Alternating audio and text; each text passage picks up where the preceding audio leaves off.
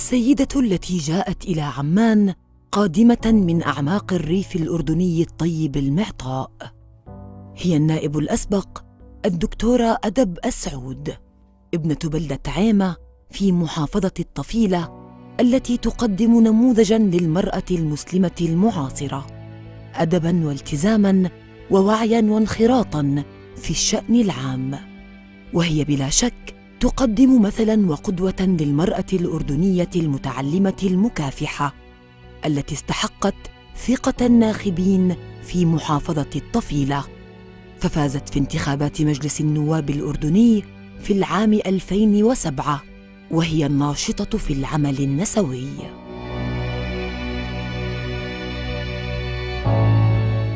ولدت في قرية عيمة في محافظة الطفيلة طبعا محافظة الطفيلة تبعد جنوب الأردن 200 كيلومتر عن العاصمة عمان. وتعلمت في مدارس القرية في المدارس المرحلة الابتدائية والمرحلة الأساسية العليا لغاية الصف الأول ثانوي. ثم انتقلت بعد ذلك إلى مدرسة الطفيلة الثانوية للبنات في مركز المحافظة لأنه لم يكن هناك وقت ذلك توجيهي. كان يعني بعد صف معين تذهب جميع البنات إلى إلى المركز المحافظة إلى المدرسة الثانوية حتى نكمل دراستنا بعد ذلك يعني درست في الجامعة الأردنية في كلية الآداب في تخصص الجغرافيا. بعدها تخرجت وعملت في صندوق الهاشمي للتنمية البشرية اللي كان وقتها اسمه صندوق الملكة علياء للعمل التطوعي. وعملت في هذا المجال لمدة خمس سنوات. كان يعني مجال العمل متنوع كله مع المجتمع. في قطاع الطفولة قطاع المرأة قطاع الشباب. الطفولة المبكرة وحتى ما بعد المدرسة يعني. فيعني أعطتني هذه التجربة فرصة أنه أتعرف حتى على محافظتي يعني بالرغم أني من محافظة الطفيلة لكن كوني يعني كنت فقط في المدرسة ومن المدرسة للجامعة فيعني أعطتني فرصة للتعرف حتى على مجتمعي على تركيبة المجتمع على طريقة التفكير على الثقافة على احتياجات الناس. بعد ذلك انتقلت إلى سلك التربية والتعليم.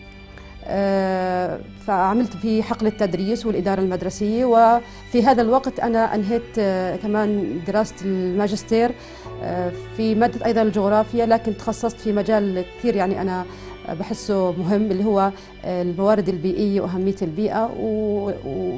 لأنه إحنا يمكن بنعاني من مشكلة حتى في نقص الموارد وبالتالي بعتبر أنه المشكلة البيئية هي من المشاكل اللي ممكن ندرسها حتى نضع حلول لهذه الأشياء. في عام 2003 تم إجراء أول انتخابات نيابية في عهد الملك عبد الله الثاني أطال الله عمره. وكان في في القانون الجديد في عهد المملكة الرابعة تم تعديله وإدخال تم إدخال حصة للمرأة اللي هي بسموها الكوتا وما يعني طرح عليها الكوتا اللي هي مقاعد إضافية للنساء كان عدد المقاعد ستة المخصصة للنساء على مستوى المملكة وكانت هذه كتجربة لاختبار أعتقد المجتمع أو اختبار قدرات المرأة وأدائها في العمل العام وبالذات في العمل البرلماني لأنه كانت في مطالبات سابقة إلى إدخال المرأة في العمل العام وإشراكها في الحياة العامة والسياسة العامة من خلال المنظمات الدولية الخاصة بالمرأة وحتى المنظمات المحلية وبعض اللجان وبعض الجمعيات اللي العاملة في البلد في هذه الأثناء أنا ترشحت لمجلس النواب والحقيقة يعني القانون كان مشجع. آلية آلية يعني تطبيق القانون كانت مشجعة. أيضا المجتمع أيضا شجع على ذلك. فدخلت أنا على البرلمان وكنت أول يمكن واحدة من المرشحات اللي بتحصل حتى على إجماع عشائري. وتحدثوا عنه تحدثوا عنه الإعلام وتحدثوا عنه الناس في لقاءاتهم حتى العادية في مجتمعنا نحن يعني مجتمع محافظ. فكان مستغرب إنه هل ممكن لسيدة أو فتاة من هذه المجتمع أن تدخل البرلمان؟ فكانت الإجابة بأنه هناك إجماع عشائري بان العشائرية أعطت مثل في ترشيح أحد أفرادها إلى إلى البرلمان.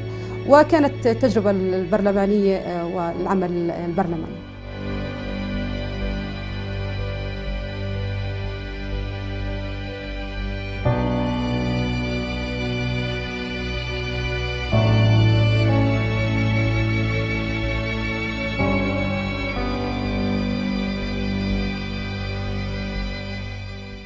آه، طبعا إضافة لخبرتي في المجال التطوعي اللي هو العمل الاجتماعي التطوعي وخبرتي في التربيه والتعليم آه، كانت العمل البرلماني.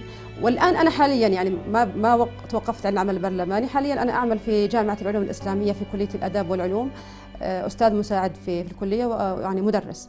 فاهم المحطات كل المحطات أنا بالنسبة لي مهمة. دائما أتوقف عند آه، يعني المراحل العملية على أنها هي يعني بتضيف خبرة. آه، وإذا لم آه، تستطيع أن تمكث في هذا الموقع أو هذا العمل آه، لأسباب يعني معينة كون أحيانا الشخص يرغب بالتغيير أو يرغب بالتطور أو بتجريب عمل آخر. بعتبر كل موقع هو يمكن أن يضيف للشخص خبرة جديدة خاصة إذا تعامل مع الفرد ب كما هو يعني يتعامل مع العمل كما هو وأحبه. آه، بصراحة أنا كل عمل بقوم فيه بعتبر إنه هذا هو عملي. يعني لما أكون بالتربية بحس إنه أنا آه، يعني فقط لازم أكون تربوية ومميزة. إذا كنت بدي أعمل في العمل الاجتماعي بعتبر إنه هذا هو ميداني.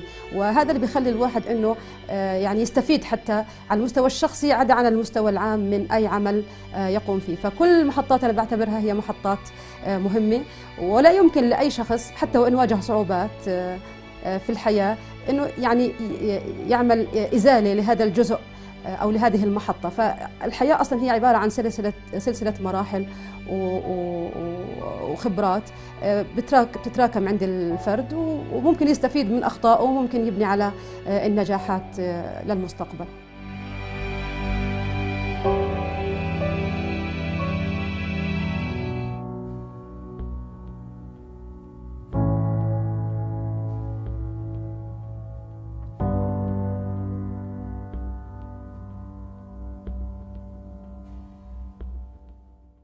العمل النسوي في الأردن آه، بدأ تقريبا يعني من نهاية الثلاثينات بداية الأربعينات يعني آه، يعني من أجيال. يعني العمل النسوي في الأردن ليس طارئا وما حققته المرأة وهذا يعني يجب أن نكون موضوعيين وأمناء آه، كون الآن في إنجازات عالية للمرأة. علينا أن نعترف أن هناك رواد في العمل النسوي أو بين قوسين رائدات في العمل النسوي. بدأت المرأة منذ تأسيس الدولة أو من استقلال المملكة الأردنية الهاشمية ثم في المراحل الكثيرة حتى في المراحل الصعبة اللي كانت فيها الأمة سياسيا آه، يعني في هناك تجاذبات سياسية مع آه، أوضاع في ظل أوضاع معينة. فكانت المرأة يعني تسعى إلى إثبات وجودها وإلى مشاركتها. فالعمل النسوي في الأردن بعتبره يعني من النماذج النماذج المحترمة في العالم العربي. المرأة حصلت حقوقها بالمطالبة وبالمثابرة في آه، حقها في تمثيل آه، في كل المجالس التمثيلية بدءا من البلديات آه، والنواب والأعيان. الآن أيضا المرأة تتبوأ مناصب كثيرة.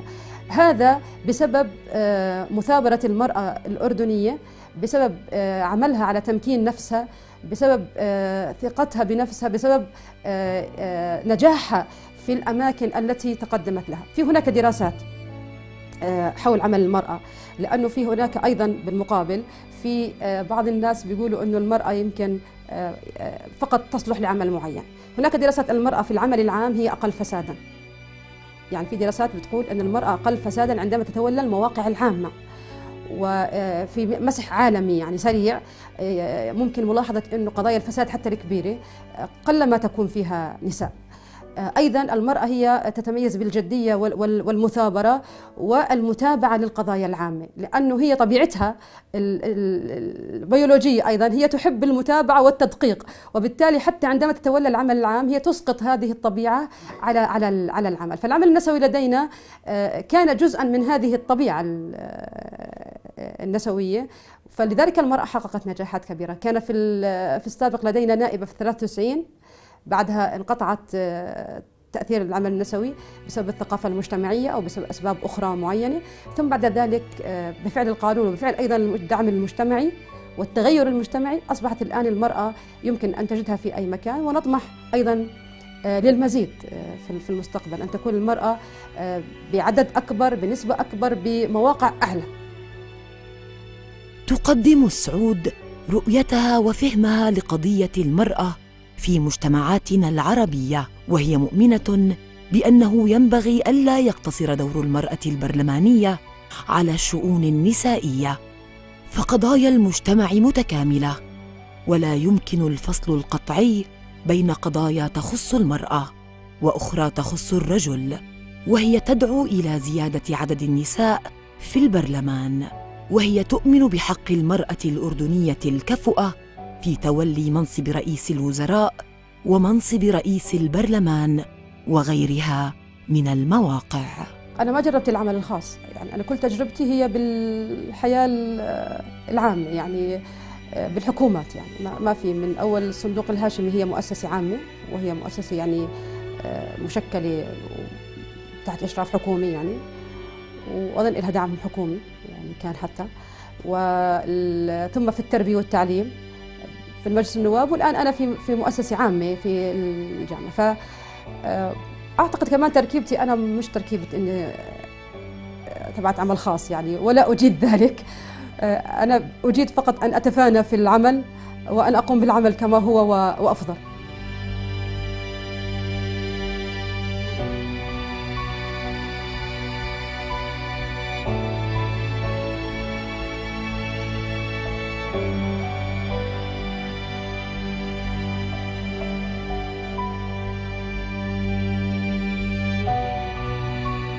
علاقتي بالتعليم علاقة قوية يمكن علاقة محبة وعشق بسميها أنا.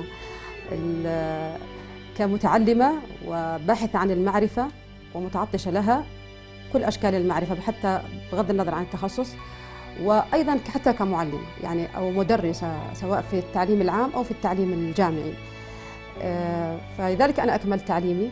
وأحث أيضا على التعلم والتعليم لا ينتهي في الحصول على الشهادة الجامعية. يعني إنه الشخص فقط عندما يتخرج يعتقد أنه قد يعني ختم العلم أو أخذ الدكتوراه يعني معناته بفهم في كل شيء. يبقى الشخص يبحث عن التعليم ما دام هو على قيد الحياة. والتعليم المفروض يكون مجالات في كل المجالات لأنه إحنا الحياة الآن تعقدت. وتشابكت وتداخلت مع بعضها البعض فنحن بحاجة إلى أن نتعلم أكثر من أكثر من جوانب في حياتنا. كانت سعود قد اختارت الطريق الأصعب في العمل البرلماني بحرصها على التوفيق بين واجباتها كنائب أمة ووطن وفي الوقت نفسه كممثل لدائرة انتخابية تعاني من مشكلات مزمنة ولناخبين لهم مطالبهم الكثيرة والمحقة كل هذا في ظل حرصها على استقلاليتها. شكلت السعود نموذجا للنائب الذي يحس بحاجته المستمرة والمتزايدة للقراءة ليتسنى له القيام بواجباته النيابية خير قيام وحاجته الدائمة لهيئة استشارية كفؤة وحاجته للعودة إلى قواعده الانتخابية وضرورة الاسترشاد بنبض الشارع الذي لا يتذكره أحد بعد النجاح.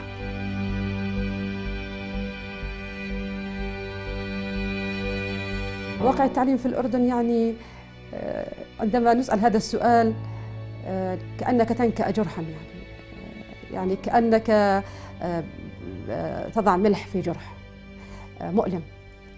التعليم يعني مخرجات التعليم الحالية آه، يعني تشير إلى أن هناك آه، فجوة معينة تشير إلى أن هناك خطأ معين.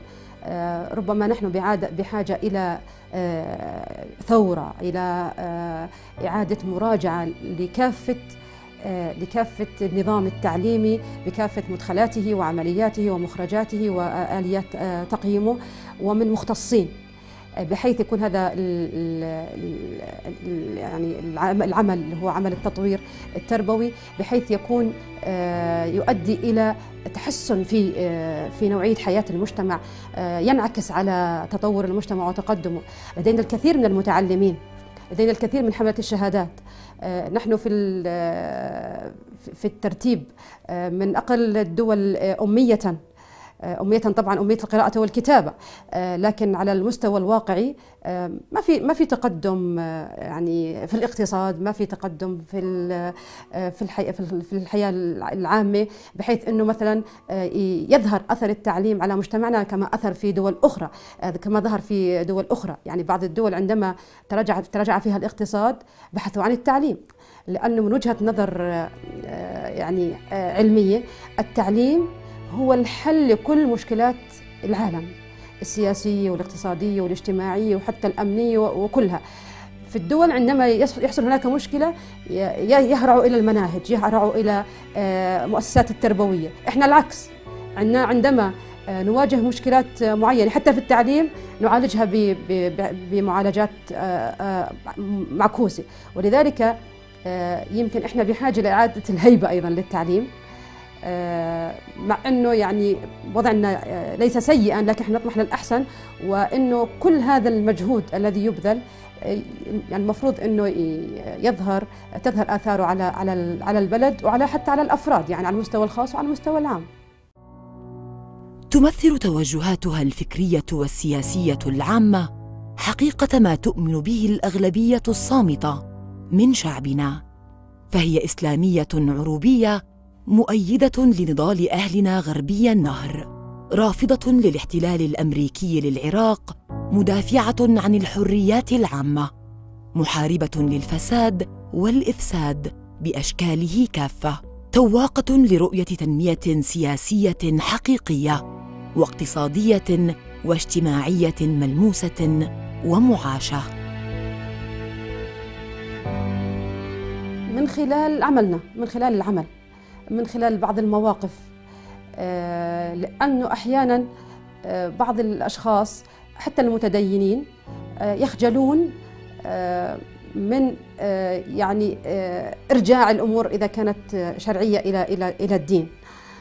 فالتفهم الآخر الحوار مع الآخر نحن نشارك في في اللقاءات حتى اللقاءات الدولية هذه اللقاءات الفكرية. حتى لو كان فيها أشخاص بيختلفوا عنا فكريا يعني بيختلفوا عنا في الدين بيختلفوا عنا في الثقافة لأنه الإنسان ليس معزولا. وحتى الدين الإسلامي هو دين يعني عالمي وليس دين فقط للمسلمين هو دين عالمي ويسع كل مجالات الحياة.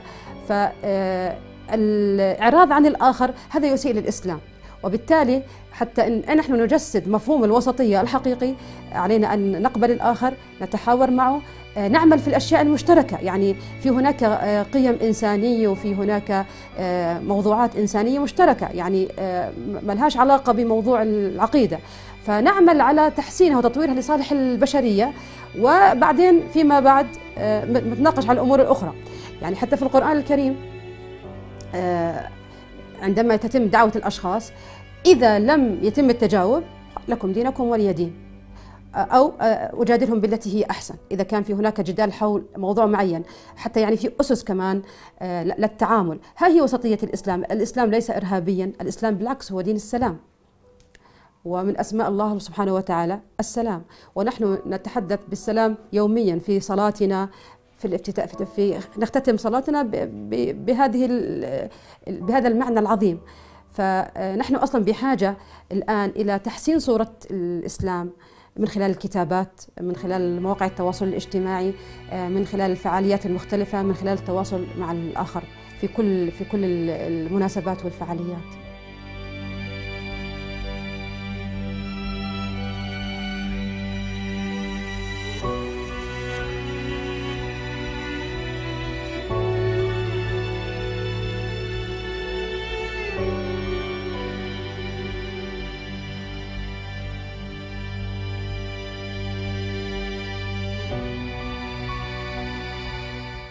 بدنا نحكي الحقيقة وما ندفن رؤوسنا في الرمال فنحن لدينا في الأردن مشاكل كثيرة بما فيها المشاكل التربوية. وأعتقد أنه المشاكل الأخرى هي مركبة على المشاكل التربوية لأنه مخرجات النظام التعليمي المفروض هي التي تحل لنا المشكلات الأخرى.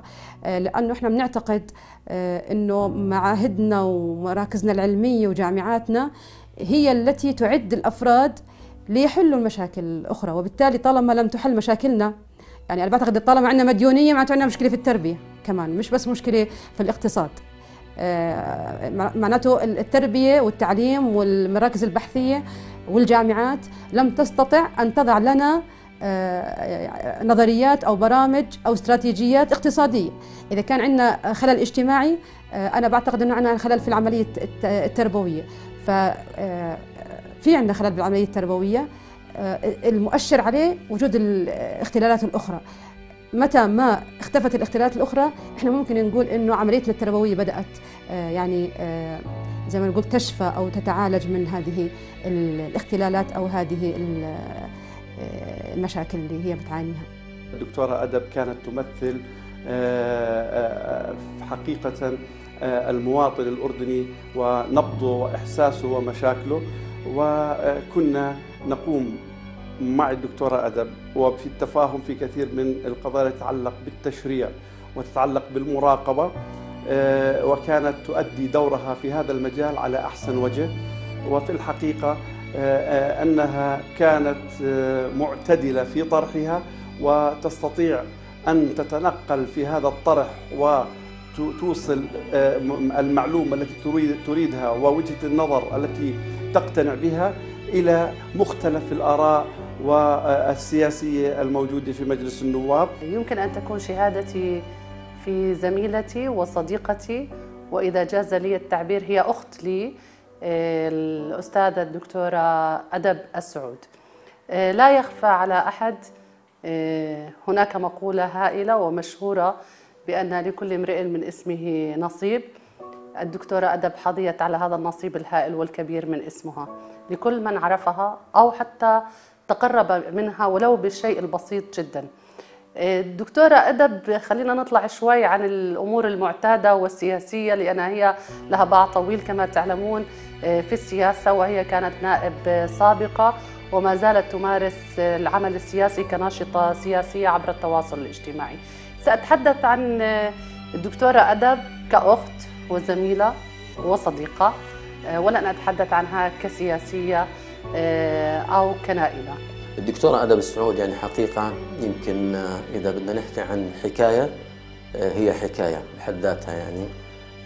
الدكتورة الأدب هي المربية هي الفاضلة هي المعلمة هي الأستاذة الموجهة المدربة الدكتورة أدب يعني تجمع الصفات الإنسانية والأخلاقية والدينية وأيضا متمتعة بالشجاعة والقوة والقدرة على قول الحق وأيضا يعني تحاول وهي نصير المظلومين وهي يعني لها باع طويل في العمل الإنساني والاجتماعي و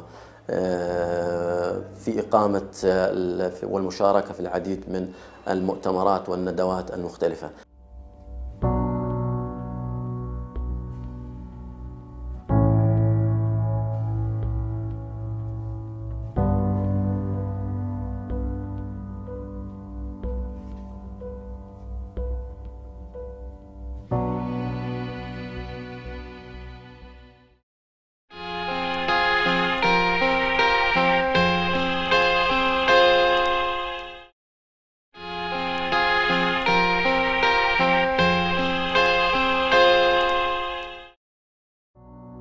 وتسلمت الدكتورة سعود شهادة سفير السلام تقديرا لها على الجهود التي تقوم بها في مجال حقوق الإنسان والسلام. الدكتورة سعود هي عضو هيئة تدريس في جامعة العلوم الإسلامية، وسبق لها إشغال منصب عميد شؤون الطلبة وعميد كلية العلوم الأساسية، كما أنها كانت نائبا سابقا في البرلمان الأردني. مش صعوبات بمعنى الصعوبات لكن في بعض القرارات كان فيها تردد. يعني ما في قرارات يعني إحنا قراراتنا مش حاسم يعني مش قرارات حياة أو موت. من أصعب القرارات قرار الترشح. السبب كان ليس عدم إيماني أنا بهذا الموضوع. السبب كان الخشية من ردة فعل المجتمع. لكن نتبين أن ردة الخشية كانت ليست في محلها. يعني وجدت إنه رد الفعل بالعكس كان إيجابي أكثر مما توقعت. فكان الخوف هون. المرحلة الثانية في الخوف اللي هي عند النجاح.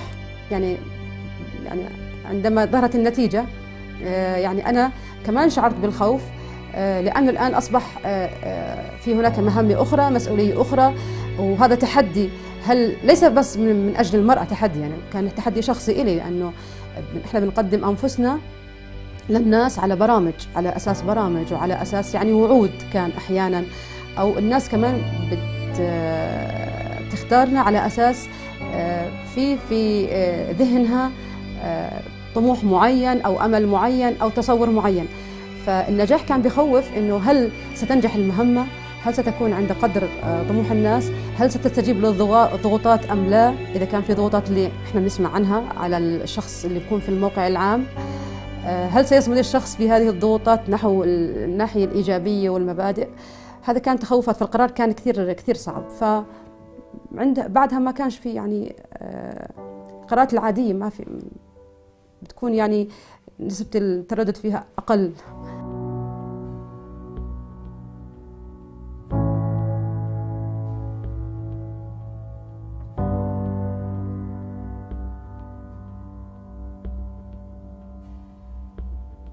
الجانب الإنساني يمكن صعب الواحد يحكي عن حاله لأنه بده يصير يحكي عن خصائصه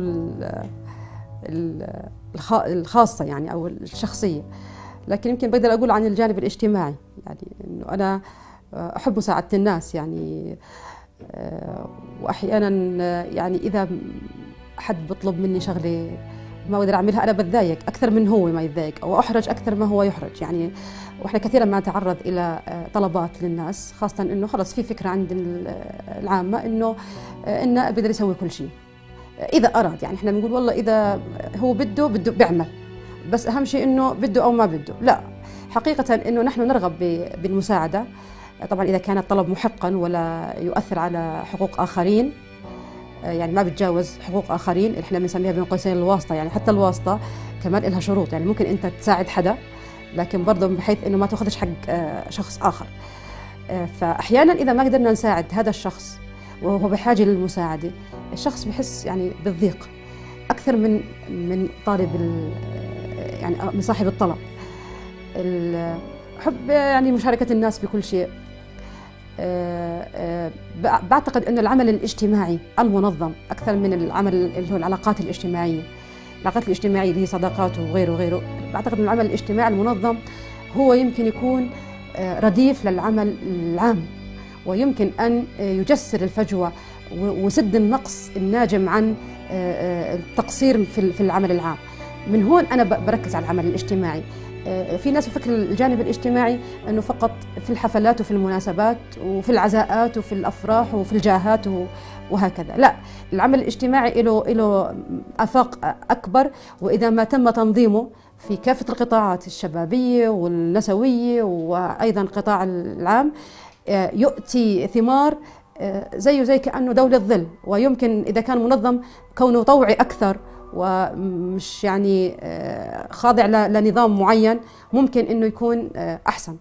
فأنا أؤمن بهذا بهذا العمل وبحث عليه. شرط الا يكون وراءه أهداف شخصية أو تجير نجاحات الآخرين وعلاقاتهم لمنافع شخصية.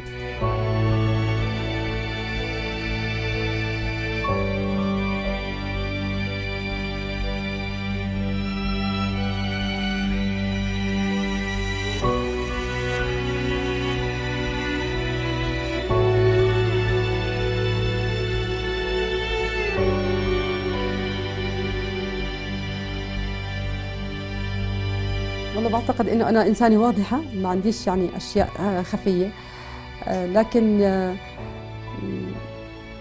ممكن يعني حسب ما أنا بعتقد إنه أنا غير ما أبدو. يعني هناك ممكن بتوقع في ناس يعني يتردد في أن يتحدث إلي. ظن إنه مثلا إنه في هناك يعني تكبر لا سمح الله أو شوية قسوة. فدائما أقول أنا اللهم اجعلني يعني خيرا مما يظنون. ف أنا أبسط مما يظن الناس يعني وبالعكس أبسط بكثير يعني وهذا طبيعي يعني مش إنه شيء مخفي.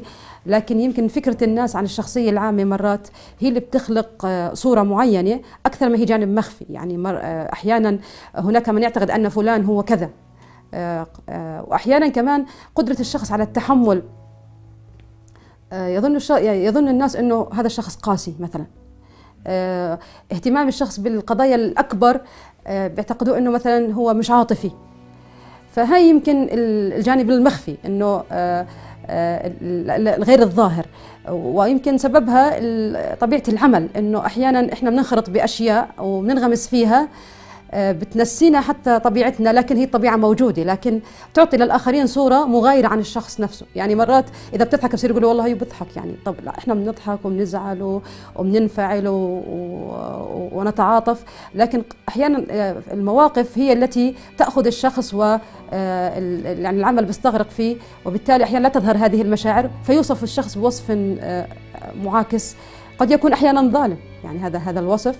وقد يكون يعني يعني في إجحاف بحق هذا الشخص. دكتورة أدب سعود ناشطة حتى قبل مجلس النواب وبقيت ناشطة أيضا في المجال العام حتى بعد انتهاء فترة مجلس النواب الرابع عشر.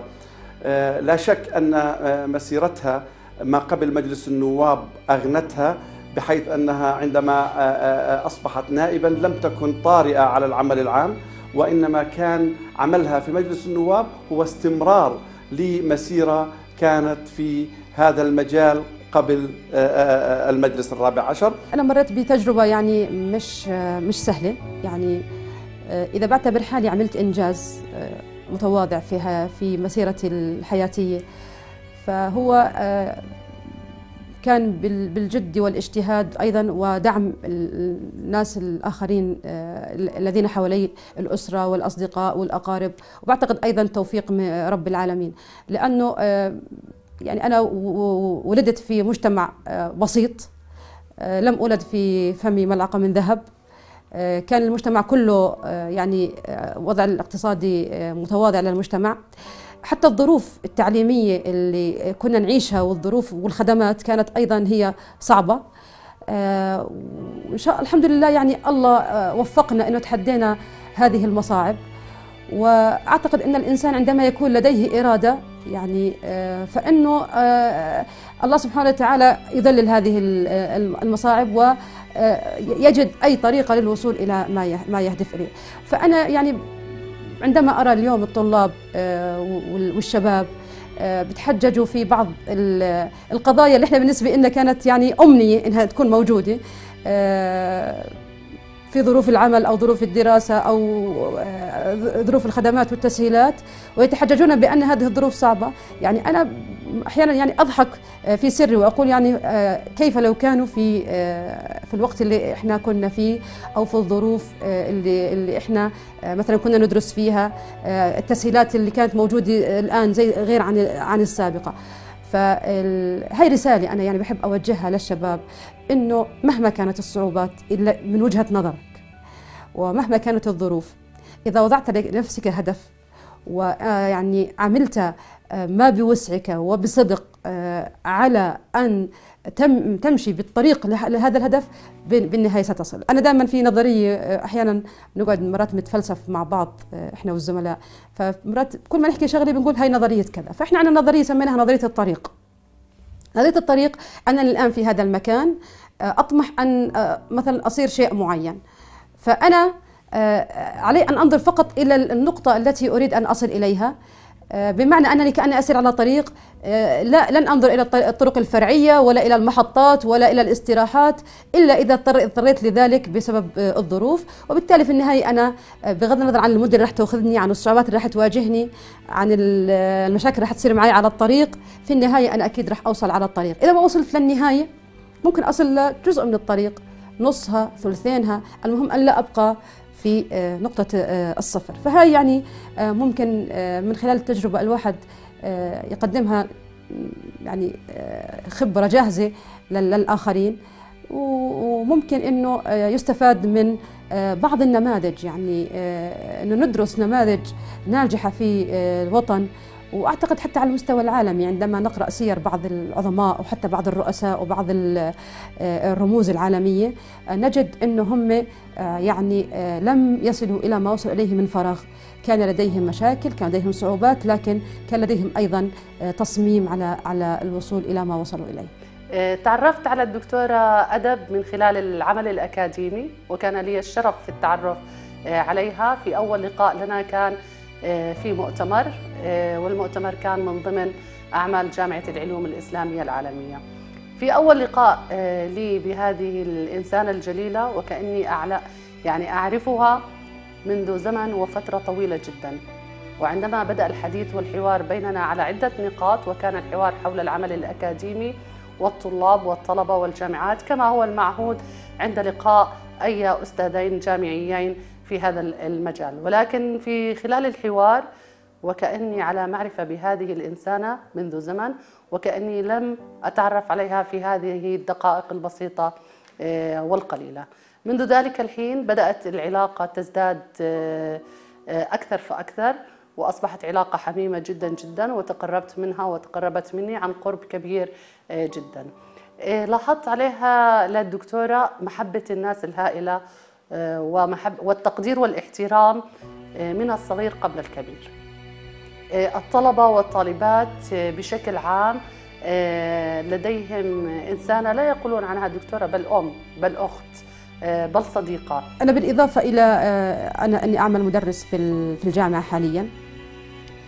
آه، أعمل أيضا آه، يعني ارتباطات عمل هي غير رسمية يعني هي مش عمل لكنها هي ارتباطات عمل أخرى آه، بحكم عضويتي في بعض المنظمات المجتمع المدني وبعض المؤسسات حتى شبه الرسمية يعني أنا عضو مجلس إعمار الطفيلة عضو مجلس الإعمار هي إدارية فيعني بترتب علينا مسؤوليات. أيضا عضو في بعض الملتقيات والجمعيات عضو مجلس الوطني لشؤون الأسرة. آه، فإحنا يعني علينا مسؤوليات التوعية أحيانا والمشاركة في بعض الفعاليات. بشارك آه، بالمؤتمرات بمستوى شخصي وبمستوى يعني رسمي. إنه بتكون مثلا أحيانا الجامعة أو الجهة اللي أنا مرتبطة فيها هي بتكون بترشح رشحتني للموضوع. بصراحة آه، دائما بقول إني أنا بحاجة للوقت. يعني إذا إذا اليوم 12 ساعة يعني بالضبط أنا بقول يمكن بحاجة لليوم يكون مضاعف حتى الواحد إنه يقضي آه، بعض بعض واجباته. ولذلك هناك يمكن ناس بيعتبوا علينا في التقصير في المشاركة في بعض الواجبات الاجتماعية. السبب هو فقط أحيانا آه، بيكون آه، الوقت. إذا كان عندي متسع من الوقت بقرأ. يعني أنا كثير بحب القراءة والبحث أحيانا بكتب على التواصل الاجتماعي وبتفاعل مع الآخرين أو بكتب في بعض المواقع الإلكترونية وبصير بصير في تفاعل. ويعني آه، بنحاول إنه يعني نزرع فكرة ننير طريق إلى آخره آه، حتى إنه آه، لعل وعسى إنه نكون لنا يعني مساهمة في هذا المجتمع.